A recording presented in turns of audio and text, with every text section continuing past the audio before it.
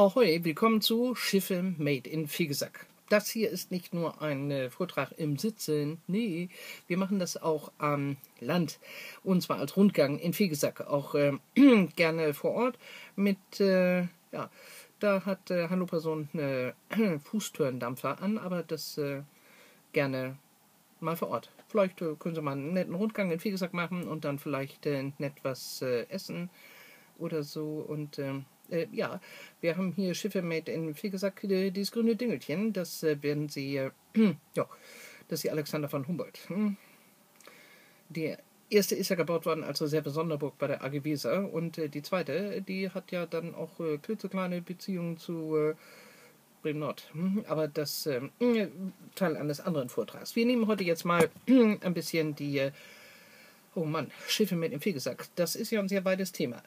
Wenn Sie hier einer von denen sind, und das können Sie auch gerne zu Recht sein, die sagen, oh, da wollen wir jetzt aber eine vollzählige Auf, äh, also vollzählige Aufstellung da, nee, das äh, geht nicht. Das schaffen wir nicht. Wir können hier ein bisschen äh, Lust machen, dass Sie vielleicht auch mal, äh, vielleicht suchen Sie ja und vielleicht brauchen Sie noch ein paar Hinweise, wo Sie noch suchen können. Also wir, ja, klar.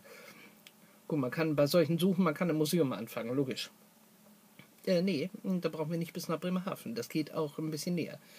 In äh, Schwachhausen gibt es ja das Bremische Museum für Landesgeschichte, das Focke-Museum. Und da gibt es eine große maritime Schausammlung.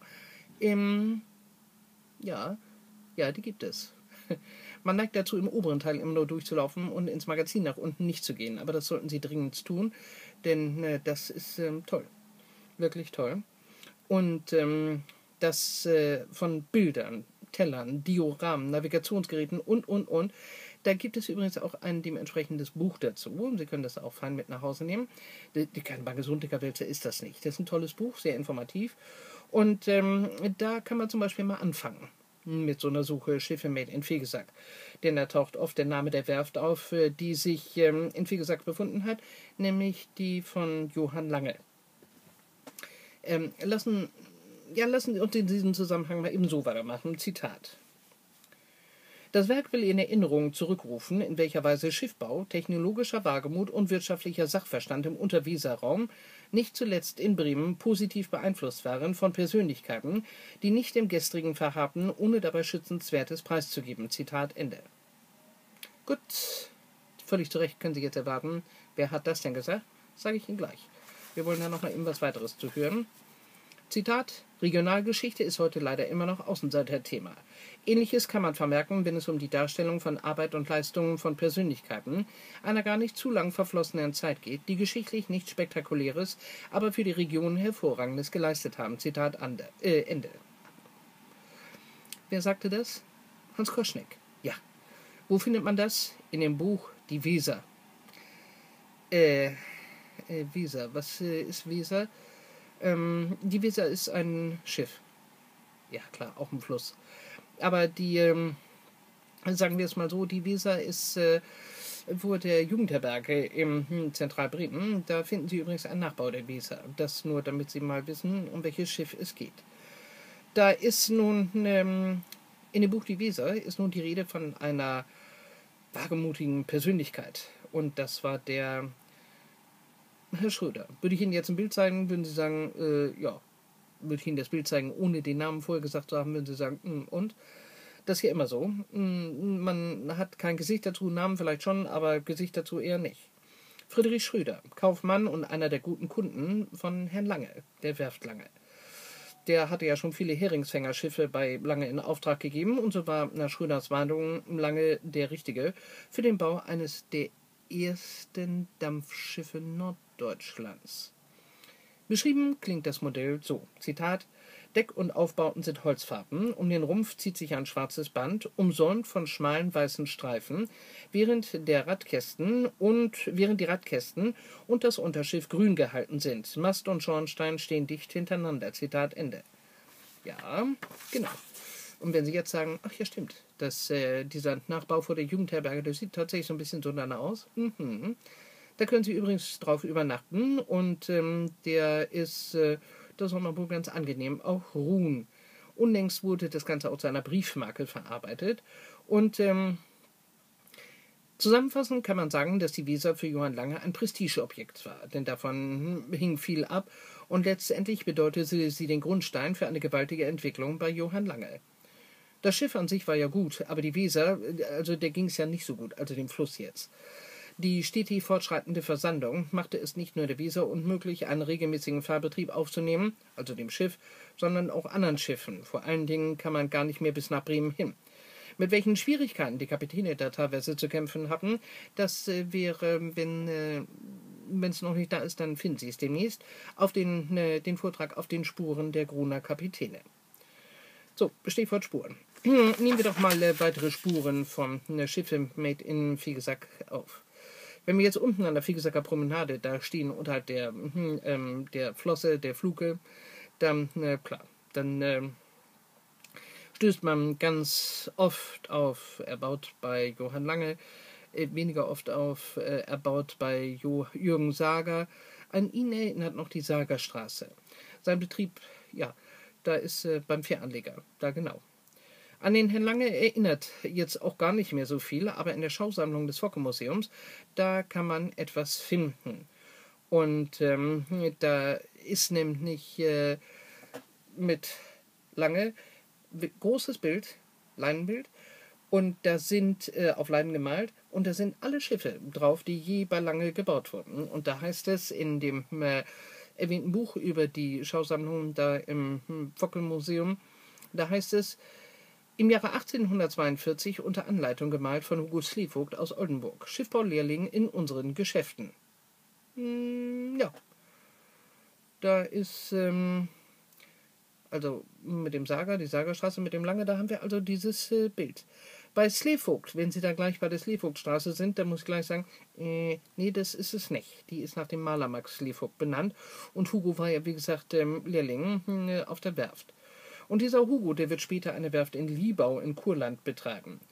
Auch ähm, auf der wurde die Bremer Bark Aeolus gebaut im Jahre 1849, aber wir machen ja nicht ähm, was in Liebau, sondern äh, Schiffe mit in Viegesack. Wenn Sie sich ein wenig auskennen, dann warten Sie sicherlich auch auf den Namen Ulrichs. Ja, zu dem kommen wir gleich. Das, ähm, wir haben natürlich, ähm, also wenn wir rüberschauen auf die andere Weserseite, da ist, äh, heute kommen ja die Kunden aus der ganzen Welt auf äh, die andere Seite der Weser, um sich da ihre Schiffe bauen zu lassen. Da haben wir ja zwei Werften, Abeking und Rasmus und Lürsen. Und äh, Rasmussen, Verzeihung, Abeking und Rasmussen und Lürsen. Kommen wir gleich auf die Tatsache, wie das überhaupt mit Lürsen denn mal angefangen hat. Klären wir doch erstmal, wie ähm, und wo das genau war. Heute gibt es am Aumunder Markt noch eine kleine Straße, die den Namen Friedrich-Lürsen-Straße trägt. Also, wenn wir das unter heutigen Aspekten zusammenfassen würden, dann könnte man das sicherlich so beschreiben. Ein junger Mann glaubt felsenfest an sich, gründet ein Schiffbauer-Start-up weit vom Wasser weg, weil woanders gab es keinen Platz. Werkzeug hatte er auch ein bisschen, auch nicht so, aber richtig und da würde man heute gleich sagen, Junge, das klappt nie im Leben, brauchst du gar nicht machen, das ist zum Scheitern verurteilt. Aber er hatte eins, er hatte den unumstößlichen Glauben an sich. Er ist 25, als er 1875 sein erstes Ruderboot baut. Also, vielleicht, ähm, es gibt da in der Stadt so eine Universitätsbibliothek, gibt es eine tolle Zeitung, die heißt äh, Der Schlüssel. Die kann man hm, sich da ausleihen, die kann man da angucken hm, und ähm, die ist schon, gibt es schon da jetzt gerade nicht mehr so. Und ähm, in der Ausgabe aus dem Jahr 1975 findet man da übrigens ganz anschaulich die ersten 100 Jahre des Unternehmens ähm, noch einmal äh, leicht verdaulich zum, äh, zum äh, Erwähnen brauchen wir nicht, dass der Name Lürsen für hohe Qualität steht. Und bemerkenswert ist aber auch der unumstößliche Glaube des äh, Gründers an seinen Erfolg. Wegweisend ist sicherlich auch die Erkenntnis gewesen, dass es sich lohnen würde, den Ottomotor genauer zu betrachten, als ob man den nicht mal an so ein Boot außen dran bummeln könnte. Ja, begünstigt wurde dieser Entwicklungsschritt durch die, wie heißt es da in der Zeitschrift, Zitat, harmonische Zusammenarbeit zwischen dem Bootsbauer Friedrich Lürsen und dem industriellen Daimler. Zitat Ende. Dabei kam, wie heißt es, die Entwicklung des ersten betriebssicheren deutschen Passagiermotorboots zu, äh, heraus, es hatte 1,5 PS, alle vollständig angetreten, einen Daimler-Motor und 1890 hatte das Schiff einen Termin auf dem Hollersee im Bremer Bürgerpark, denn da war die Jungfernfahrt. Nun sei ja die Frage überhaupt auch gestattet, wenn, äh, also es kommen ja auch die Rich and Famous dahin. Also um sich da. Wie kommen die da hin? Da wird ja keiner irgendwo eine Anzeige in einer Norddeutschen gelesen haben, juhu, jetzt müssen wir da mal hin. Äh, nee, das ähm, ging vermutlich ein bisschen anders. Man äh, kann das ähm, ein bisschen nachvollziehen über das Online-Archiv des Visa Courier. Da muss man ein bisschen hartnäckig sich so reinsuchen, aber da kann man was finden. Und ähm, das, äh, die erste, der da überhaupt hinkam, das war der Herr Horten. Ja, in unseren Tagen vielleicht ähm, haben wir, wir hatten ja mal dieses große Kaufhaus, Horten, genau, der ist das. Und äh, der Kaufhauskönig, der kam 1971 an die Weser und bestellte sich die Carinthia Nummer 5. Ähm, ja, das ähm, war ähm, tolles Schiff, gar keine Frage. Auf der Jungfernfahrt traf ähm, die Carinthia 5 einen Felsen und äh, dem Felsen hat es nicht ganz so viel, der Carinthia 5 schon, schon mehr. Das brachte aber auch gleich äh, lösen einen Folgeauftrag ein für die Carinthia 6. Exakt. Dass danach ein Superlativ auf den anderen folgte, das kann man den maritimen Medien hm, ähm, durchaus und auch der Norddeutschen wie mit dem Online-Archiv entnehmen. Schwierig genug ist es tatsächlich mal Kunden rauszufinden, aber da haben wir zum Beispiel den Herrn Ellison. Ein Milliardär, da wird schon den schon seit Jahren nur im vorderen Teil der Forbes-Liste zu finden. Ferner hat der Mann wohl auch ein fantastisches Navigationsgerät. Der findet tatsächlich 2007 den Weg nach Fegesack. Manche aus Zentralbremen kommen gar nicht hierher, aber der gleich, zack, der Ellison kommt dahin. Und er bestellt die Rising Sun. Das äh, Bild finden Sie übrigens auch im Internet. Und ähm, da ist auch ein schönes Bild. Äh, die Rising Sun vor der Halle bei Lürsen und vor der Halle in Stockholm macht sich sehr, sehr gut. Auch ähm, in Stockholm. Weil irgendwo auf dem Schiff ist ja immer ein kleines Täfelchen made in Fegesack. Wenn Sie jetzt sagen, ja prima, das ist ja nun da auf der, auf der anderen Seite da drüben, ja, da stimme ich Ihnen ja nun zu.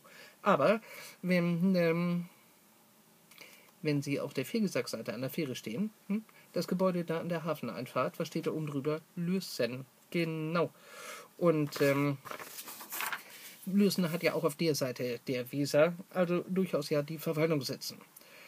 Natürlich wollen wir nicht so tun, als wenn Lürsen der Einzige ist. Nee, nee, der besondere Schiffe baut. Da gibt es ja direkt nebenan A und R, Abeking und Rasmussen. Das fällt natürlich auch unter Schiffe made in Sichtweite von Fegesack, aber da gibt es eine Verbindung zu dem erloschenen Vulkan da hinten, die Vulkanwerft da hinten beim Ulrichshagen. Nebenbei Einfach ist das nun nicht etwas über die Chroniken der beiden herauszubekommen. Hm, einen der Hauptgründe liefert uns äh, Hermann Schädler im Vorwort dieses Buches. A und R, die Kunst des Schiffbaus. Da heißt es, Zitat, um sich eine lange Unternehmensgeschichte vor Augen zu führen, muss man zurückblicken. Eine Haltung, mit der wir zugegebenermaßen wenig Erfahrung haben. Zitat Ende. Das Motto Navigare necesse est, vivare non est necesse gilt für A und R auf jeden Fall. Doch das kleine Latinum reicht.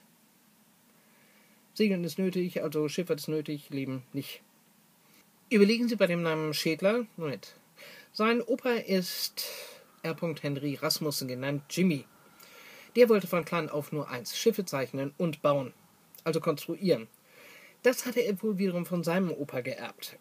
Dass er dafür seine Heimatstadt in Dänemark verlassen und studieren musste, ist klar. Er schreibt sich in Kopenhagen ein, daran, aber nach dem Studium kam es ganz anders. Er wollte ja in die USA, aber seine Mutter war es, die ihn davon abgehalten hat, durch den äh, Hinweis, denn äh, sie sagte zu ihm, äh, bewerb dich doch mal äh, beim Vulkan. 1892 war das. Und der frisch gebackene Schiffbauingenieur ahnte gar nicht, was das für ihn für ein wichtiger Schritt werden sollte. Im Archiv, im Online-Archiv des Visa Kurier findet man in einem Artikel zu 50 Jahre A&R folgende Aussage von ihm zu seiner Zeit in Bremen-Nord. Als ich damals bei Schümer und Jensen tätig war, bekam ich vom Bremer Vulkan einen Brief, ob ich nicht Lust hätte, nach Fegesack zu kommen. Da ich noch jung war und schon gehört hatte, dass der Bremer Vulkan eine aufblühende Werft sei und Fegesack ein hübsches Städtchen, beschloss ich, Tönning Lebewohl zu sagen. In dem Café und der Konditorei von Petersen fand ich eine nette Bude und wir haben dort viel Spaß gehabt. Die Zeit, die ich in Loppendorf verbrachte, war, glaube ich, wohl die schönste, die ich als junger Mann in Deutschland verliebt habe. Zitat Ende. Mit seinem Studienfreund, dem Maschinenbauer-Ingenieur Georg Abeking, Abeking und Rasmussen, wagt er den Schritt in die Selbstständigkeit. Das war 1907. Mehr Beachtung hat in den Chroniken zum Jahr 1907 sicherlich die Gründung des Weltseglerverbandes gefunden, aber Henry Rasmussen war das völlig egal, denn spätestens jetzt war er davon überzeugt, dass der Segelsport sich zu einer exklusiven Trendsportart entwickeln würde. Georg Abeking verließ den Betrieb zu Beginn der 20er Jahre wieder, den Grund dafür müssen wir Ihnen noch schuldig bleiben. Während seiner Zeit beim Vulkan nahm Rasmussen schon Privataufträge an. Und so kam der zweite Auftrag von Professor Nagel aus Fiegesack, dem damaligen Direktor des Realgymnasiums. Im Gegensatz zu Lürsen war Henry Rasmussen es selbst, der sich den Kontakt zu seinen Kunden aufbaute. Denn er selbst Rasmussen war passionierter Segler und er ließ es sich nicht nehmen, regelmäßig an Regatten und Segelwochen teilzunehmen. 1927 liefert er sogar zehn seiner Yachten nach New York aus und legte so den Grundstein für den A&R-Kultstatus unter den amerikanischen Seglern. Nebenbei A&R haben dann auch die Segelschiffe für die Olympiade in Helsinki gebaut. 1954 spielt der Opa mal wieder eine ganz wichtige Rolle. Nur diesmal war Henry Rasmussen selbst der Opa, der seinen Enkel fragte, was er denn nun mal werden möchte. Und dieser Enkel genau, Hermann Schädler, antwortet kurz und bündig: Schiffbauer. Irritierend ist sicherlich auf den ersten Blick, dass Hermann Schädler der Norddeutsche aus Kalifornien ist. Ja, das ging so. Rasmussens Tochter hatte sich in einen Deutschen verliebt, der nach Amerika auswandern wollte und es auch gemacht hat. Glückliche Umstände waren aber wohl am Werk, denn als Rasmussens Tochter ihre Tante in New York besucht, trifft sie unter Tausenden von Reisenden gerade diesen Deutschen, ihre große Liebe wieder. Und darauf beschließen beide, gut, dann ist das so, und dann machen wir das jetzt, sie heiraten. Und so kommt es zu Hermann Schädler, dem norddeutschen Amerikaner. Der Enkel Schädler kommt zum Opa und lernt bei A&R. Schneller als ihm lieb ist, muss er ran, denn 1959 verstirbt Henry Rasmussen an den Folgen eines Autounfalls. Er war auf der Heimfahrt aus dem Urlaub, als sein Wagen zwischen Hannover und Bremen von einem Lastzug mitgerissen wurde. In seinem Nachruf im Weserkurier stand zu lesen, dass er nicht nur der Besitzer einer Schiffswerft war, sondern in Seglerkreisen galt er als der große alte Mann des Bootsbaus schlechthin. Also Hermann Schädler musste flott ran und er musste Verantwortung übernehmen. Und ihm ist es gelungen, den Betrieb breit aufzustellen. Rotec, SWAT und schnelle Yachten sind da sicherlich nur einige Stichworte. Gerne hat Schädler so die Geschichten rund um seine Kunden erzählt, aber oft endete er mit den Worten: Ich kann jetzt nicht weiter erzählen, die Leute lieben ja noch. An dieser Stelle wollen wir jetzt auch nicht weiter erzählen, sondern widmen wir uns mal wieder unserem Thema Schiffe made in Fegesack.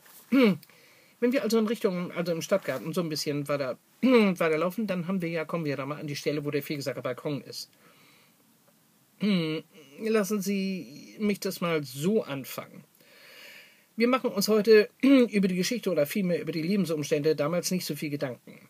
Heute sehen wir überall den Sparzwang, weil die Leute sich bestimmte Dinge nicht mehr leisten können oder weil es um Gewinnmaximierung geht. Bei der Lektüre des Buches Schiffe aus Bremen stolpert man oft über die Tatsache, dass hier in Fegesack auch viele Schiffe als Vollschiff gebaut worden sind und dann zu einer Bark umgetakelt wurden. Und dahinter steht, wie in den meisten Fällen wohl, die Personalersparnis. Damit wir Landsratten uns das ein bisschen besser vorstellen können. Also ein Vollschiff ist ja nun voll, voll getakelt auch. Und ähm, das, ähm, wir hatten da in Bremerhaven mal noch eine, also da hatten wir auch eine bekannte Bark, die ähm, Genau.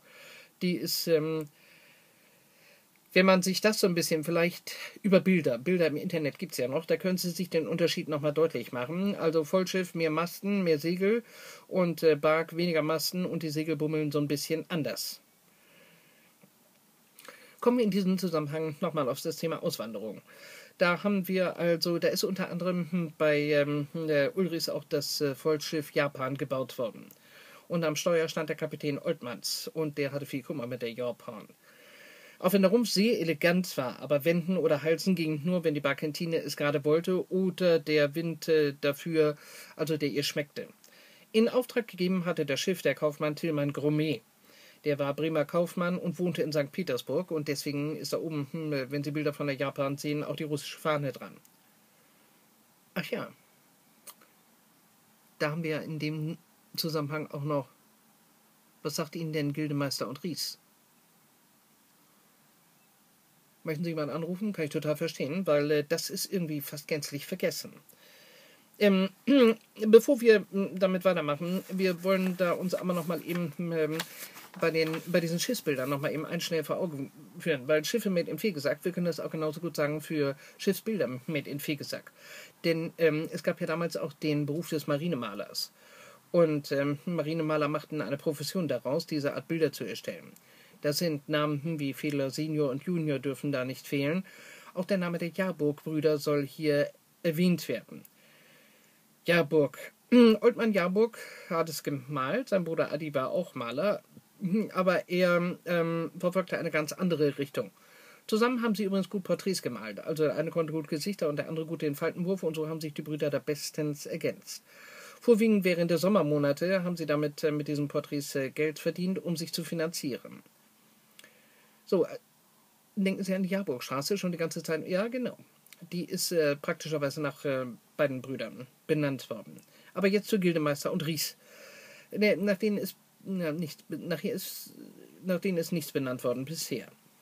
Die Herren August Wilhelm Gildemeister und Ludwig Ries waren ursprünglich Waffenbrüder. Der Herr Ries entstammte aus einer hessischen Offiziersfamilie, naja, und der Gildemeister eben aus der Familie Gildemeister. Obwohl von August Wilhelm Gildemeister ist der Vorfahr Johann Gildemeister.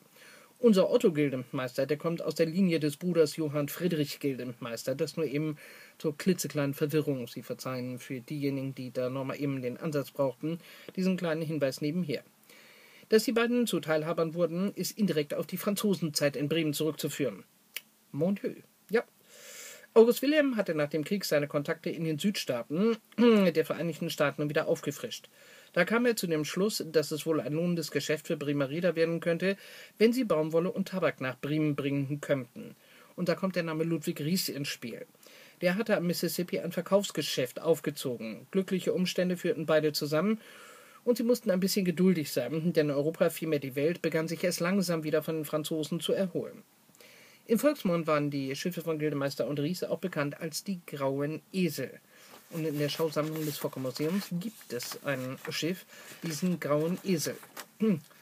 Der Name ist übrigens auf den Rumpf zurückzuführen und mit dem Schiffbau als es dann ja nun wieder bergauf ging in den 20er Jahren des 19. Jahrhunderts, da ähm, wusste das, was der Bremer Sintnat seinen Rädern auch schuldig war. Die ersten Schiffe haben Gildemeister und Riese übrigens in Oslepshausen gekauft, bevor sie denn nach kamen, um hier bauen zu lassen. Es änderte sich aber noch was in der Seefahrt. Die Ausbildung zum Seemann bzw. Steuermann konnte auch wieder aufgenommen werden. Einst hatte sich auch ein Gildemeister als dringend erachtet und so dringend sogar, dass sie auf ähm, Staatskosten vorgenommen werden sollte. Und das war das Haus der Seefahrt, damals noch in der Hutfelder Straße in Zentralbremen. An der Stelle in der Hutfelder Straße stehen sie heute gerne im Stau, weil das ist da am da so ein bisschen und äh, da kam dann eine.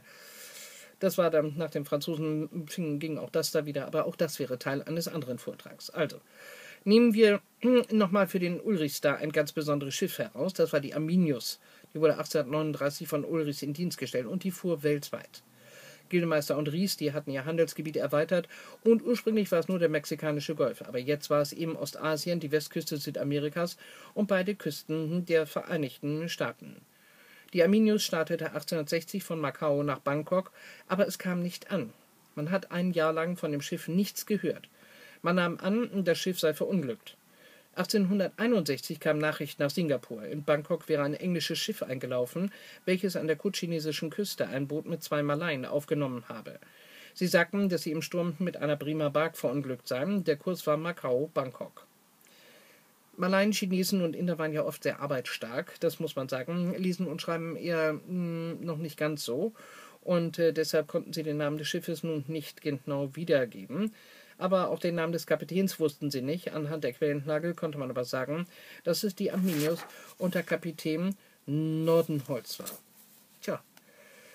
Sie merken schon, Schiffe mit im Viel gesagt, wenn man anfängt zu suchen. Wir sind da nicht fertig. Aber bevor Sie jetzt sagen, nee, nur reicht's aber für heute, äh, würde ich sagen, machen wir hier erstmal Schluss und äh, Sie können davon ausgehen, demnächst tauchen hier noch weitere Vorträge zu dem Thema auf.